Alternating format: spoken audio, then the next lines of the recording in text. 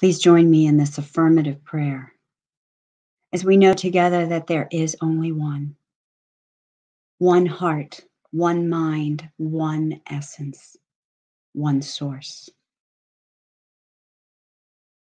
Everything seen and unseen, everything known and unknown is all one thing.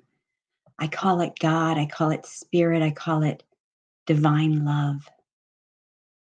I know that it is infinite and eternal, and it has its being, it has its life by means of each one of us each one a unique, individualized expression of love.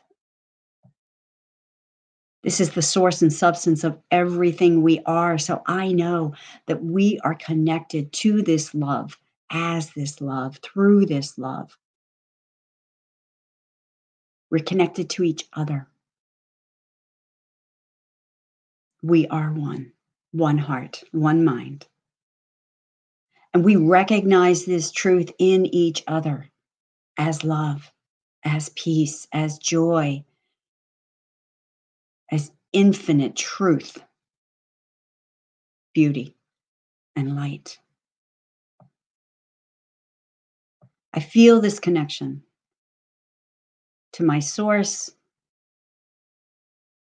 to each one here, to all life, all things, everywhere.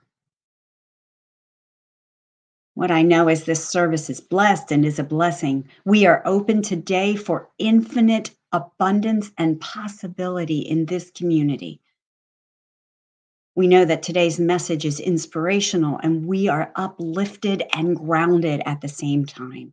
For this and so much more, I am so grateful. I know that Source is here, right here with us all the time.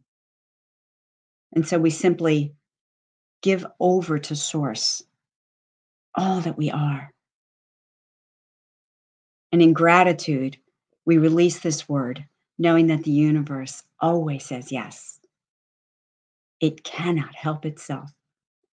And so, with faith and conviction, I speak this word, I release this word, and we simply allow it to be.